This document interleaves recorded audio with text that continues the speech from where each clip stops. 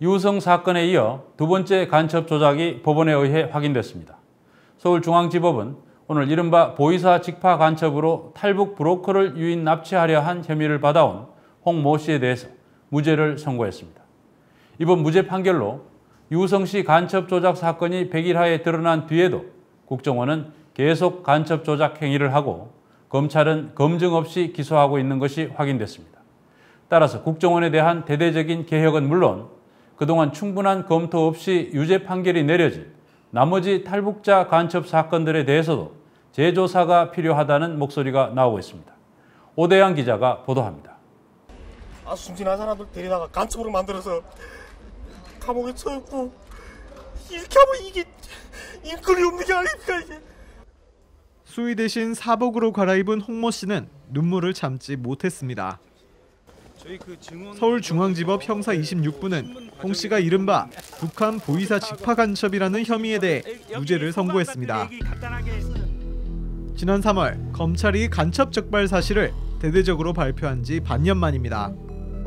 당시 검찰은 보이사 공작원인 홍 씨가 중국 국경에서 탈북 브로커를 납치하려 시도했고 이후 탈북자로 위장 잠입해 간첩 임무를 수행했다고 홍 씨를 구속 기소했습니다. 유우성 씨 간첩 조작 사건으로 코너에 몰렸던 국정원과 검찰은 홍 씨 사건을 명예 회복의 계기로 삼으려 했지만 이 역시 만들어진 간첩임이 드러났습니다. 재판부는 국정원과 검찰이 핵심 증거로 내세운 홍 씨의 진술 조서 모두가 증거로 인정될 수 없다고 판단했습니다. 재판부는 중앙합동신문센터의 행정조사 과정에서 국정원 조사관들이 홍 씨를 위장 탈북자로 판단했다면 이때부터 사실상 형사 소송 절차가 시작된 것으로 봐야 하고 피의자의 권리인 진술 거부권과 변호사 조력권에 대해 충분히 알려야 했다고 판시했습니다. 하지만 국정원 조사관들이 이를 알리지 않았고 변호사의 조력이 없는 상태에서 홍 씨에게 진술서 작성을 요구한 것은 위법한 증거 수집에 해당한다고 밝혔습니다. 합심센터의 현행 조사 방식 자체에 제동을 건 겁니다. 검찰의 조서 역시 형사소송법상의 고지 의무를 위반한 상태에서 작성된 것으로 드러나 8건의 진술조서 전부가 증거로 채택되지 못했습니다. 검사는 진술 거부권을 알리면서 진술을 거부해도 불이익을 받지 않는다는 것을 알리지 않았고 변호인 조력을 받을 권리를 말해주면서 당시 이미 국선 변호사가 선임돼 있어 조력을 받을 수 있다는 것도 알리지 않았습니다. 검사가 처음에 그 말하듯이 진술 거부권 무슨 왜 변호인 조력권 이런 거 말하시면 내보고 예? 말하는 뭐라는가 하면 변호인 조력 받을 권리가 있다. 그런데 변호인은 우리가 정해주는 게 아니고 어 당신이 차, 내가 변호인 찾아야 된다는 겁니다 지금. 아 그러면 안 내고 같이 있구나 한국 사에 누구도 아는 사람이 없는데 내보고 변호인 같이 있는 상태에서 정하라면 내가 어떻게 정합니까? 결국 재판부는 핵심 증거가 모두 빠진 상황에서 증명력이 부족한 정황 증거들만으로는 유죄가 입증될 수 없다고 봤습니다.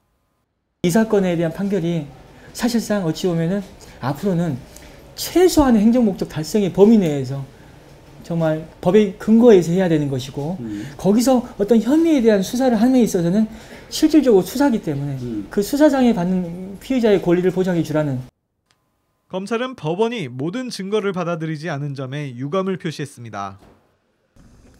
홍씨 스스로 작성한 반성문까지 증거 능력을 인정하지 않은 것은 납득할 수 없다며 즉각 항소하겠다고 밝혔습니다.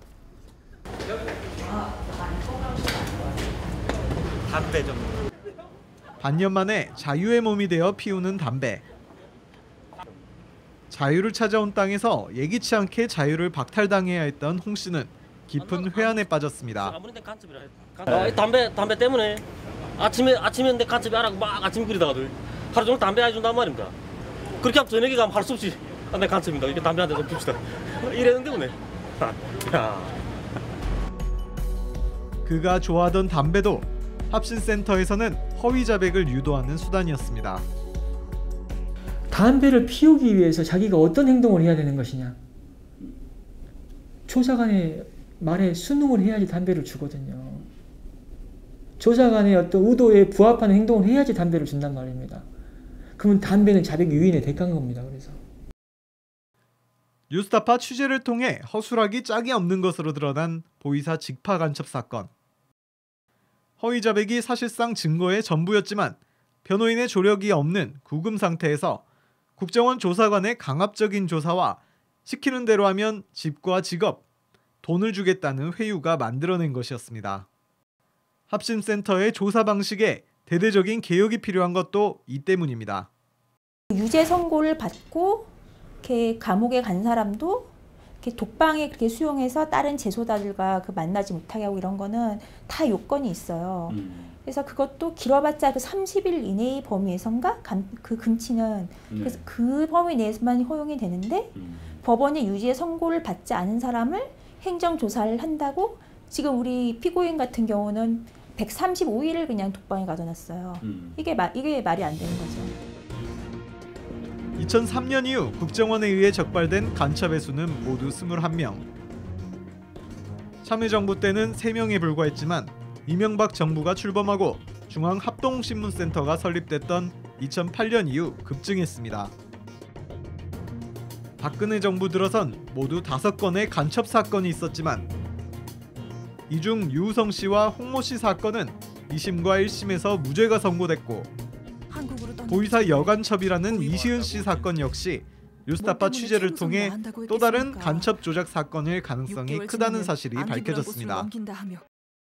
현 정부 들어 적발된 5명 가운데 3명의 간첩이 국정원에 의해 만들어진 가짜 간첩일 가능성이 높다는 겁니다. 유우성 씨 사건 이후 조사를 받은 홍 씨나 이시은 씨의 경우는 폭행을 당하지는 않았다고 합니다. 그러나 유우성 씨의 동생 유가려 씨는 합심센터에서 일상적으로 폭행에 시달렸다고 호소했습니다. 대법원에서 최종 유죄 판결을 받은 이경혜 씨의 경우도 폭행을 당했다고 호소했고 국가인권위원회에 진정을 하기도 했습니다. 따라서 지금까지 간첩으로 유죄 판결을 받은 사건들 중에서 조작 사건이 있을 가능성은 얼마든지 있습니다. 지금까지 있었던 사건 전체를 한번 점검을 해야 될, 봐야 될 필요가 있고 왜 이런 사건이 났는지를 합동신문센터 차원 그리고 그것을 넘어서서 어, 국정원 조직 내부에 무슨 문제가 있는지를 들여다봐야 될 수밖에 없는 상황이 되겠죠. 자유와 새로운 삶을 찾아온 이들이 제대로 된 법과 인권의 보호를 받지 못한 채 가짜 간첩이 되는 일이 반복되고 있습니다.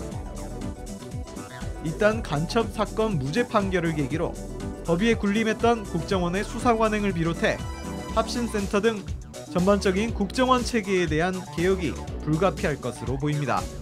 뉴스타파 오대양입니다.